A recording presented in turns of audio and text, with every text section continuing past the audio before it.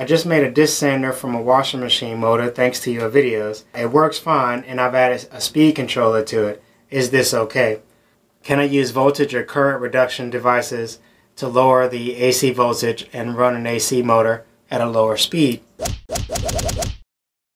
So the speed of an induction motor is based on line frequency. Line frequency here in the US is 60 Hertz. Many places in Europe at 50 Hertz. That in combination with the number of poles that the motor has will determine its speed. And I will put the formula on the screen, but this is easy to look up. Basically a four pole motor at 60 Hertz will run just under 1800 RPM. I say just under because the motor has to slip a little bit. If the rotor actually catches up with the spinning magnetic field, then there's no more relative motion. And you remember that I told you you have to have relative motion in order for there to be a force acting on the shaft. If it catches up and reaches 1800 RPM, then it loses the relative motion. There's no force on the rotor and it begins to lag behind. Well, now there's relative motion again and it keeps pulling. This is generally called slip speed and that's the actual running speed of the motor.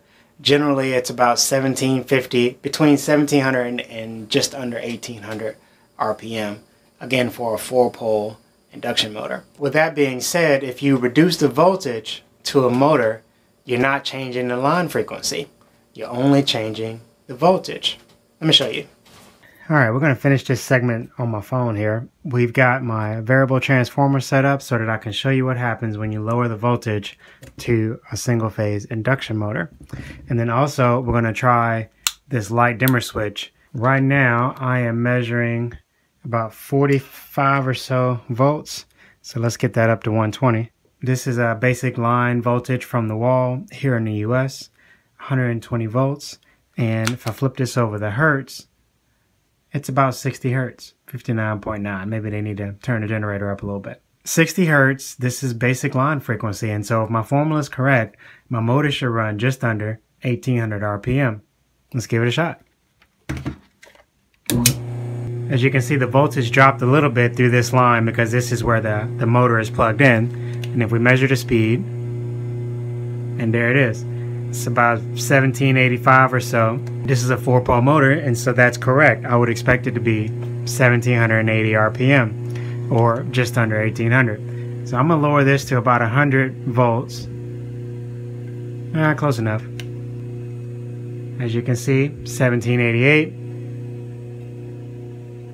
We're at about 64 volts from my transformer and we're still registering 1780, about 1780 RPM.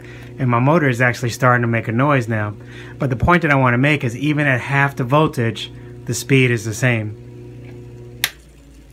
So one thing I want to point out here is if I had this motor under load, if some there was a belt here and I was driving some kind of machinery, the motor would be going slower. So I don't want to make any confusions here about what you just saw the motor would begin to slip. Eventually, you get to a point where the voltage is so low, the motor is just starving. It can't produce a strong enough magnetic field to keep up with the spinning magnetic field. The motor is completely saturated as far as the amount of current it can flow through the rotor, and it begins to slow back down. You've passed the point where the motor can keep up. But this is damaging to the motor because you're drawing more amps than you should be drawing, and that's not good. But what about something like a light dimmer switch? If you were using a light dimmer switch, this has a triac inside. Now, old dimmer switches used to use a, a, a rheostat or um, a variable resistor, which would actually increase the resistance in the line and that would make the lights dim because there was more load. In this case, we're actually flipping the light on and off very rapidly, so fast that you don't see the light flickering, you just perceive it as being dimmer. What happens when you do that to a motor? Well, uh, presumably the motor is being flipped on and off very rapidly, right?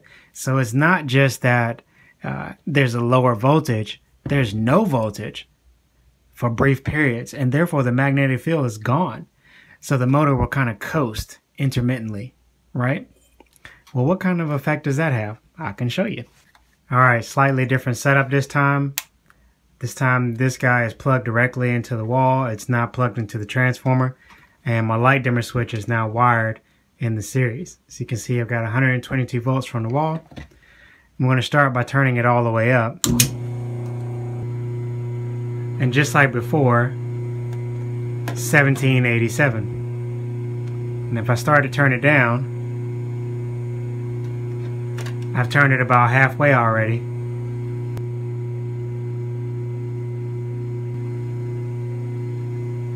And we got 1787. Alright, so the light dimmer switch is turned all the way down to just before off.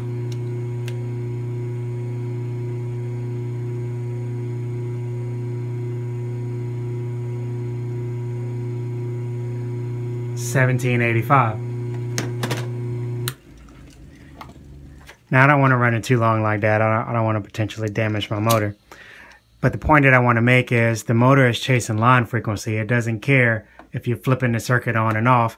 The motor may coast for a moment in between uh, when the circuit is off. But as soon as it comes back on, now there's a whole lot of relative motion between the, the spinning magnetic field and the rotor, and it will uh, very quickly catch back up notice that when you kick the motor on, it goes from zero to uh, 1800 RPM or just under in less than a second. The transition is very fast, so it's not turning it off and on doesn't do the kind of job you want. Of course, you're going to have a very similar effect to uh, what I described earlier. If this is hooked up to a load, uh, it will begin to slow down and it kind of seems like it's working, but that's not the way to go. One more thing I want to mention while I'm here is something like this. I got this router speed controller. As you can see, it says do not use with brushless type motors. This is a brushless motor. And by the way, this works with a Triac the same way this does. So now you know light dimmer switches, router speed controllers. It even tells you on the label, don't use it with brushless motors. And that's because it, this is not designed to work with that. It turns out that the only good way to change the speed of an induction motor is by changing one of the variables in the formula I showed you earlier. Since we can't change the number of poles in the motor, we need to change the frequency. And that's where variable frequency drives come in. This is a VFD. It's designed to control the speed of induction motors. The only thing is, you can't buy these for single phase induction motors. Uh, I have searched uh, quite a bit and I believe it was last year I managed to find one that worked for a special type of 240 volt single phase motor. And I could not find another one. And when I when I knew I was going to make this video I had a hard time finding it again. And that's because there's so many complications with changing the speed of a single phase motor. For example you have the starter winding that you have to deal with at low speeds.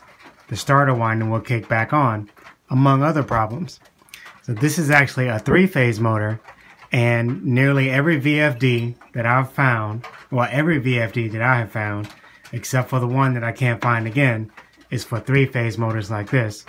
But if you change the frequency from 60 Hertz or 50 Hertz to something else, you can use that to vary the speed of the motor. And I'll show you.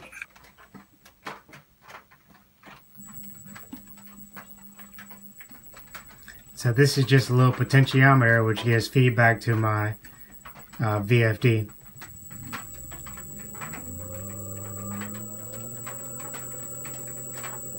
Now this is quite a powerful motor so I don't want to turn it up too high but I just want to give you the idea. This is a 4 horsepower 3 phase motor.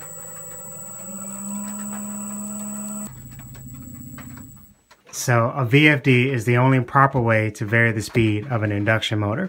Trying to run a single phase motor, especially a capacitor start single phase motor with a VFD can lead to many problems.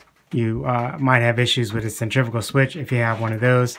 The starter winding could kick back on, whatever mechanism starts it.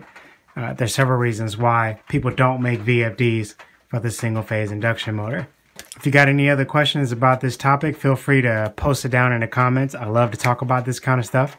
Well, I hope you found that helpful. Uh, I'm going to put give you two playlists here. The one on this side will be about how motors function, and the one on this side will be about how to wire motors and how to uh, change the speed, how to reverse their rotation. If you want to subscribe and join my little community here, you can hit the subscribe button that'll pop up down here. Until next time, thanks for watching.